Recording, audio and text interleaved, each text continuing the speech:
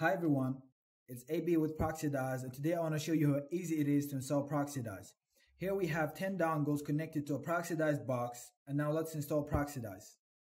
Uh, first we want to open a terminal window which I've already done and then we have a small preparation script that we need to run which I've also already done to save us some time. Once all of that is done, I just need to run the command proxidize space install and hit enter. It'll then ask me for my license key. Please insert your license key. I've already prepared the demo license for this, which is proxidize demo. And I hit enter.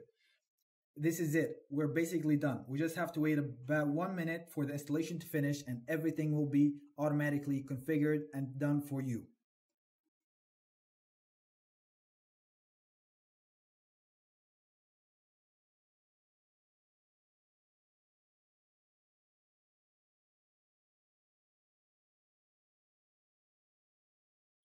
And this is it. The installation is over. Proxidize is now testing the proxies and fetching the IPs. And as you can see, they're coming one by one. It usually takes about one minute for it to fetch all the IPs.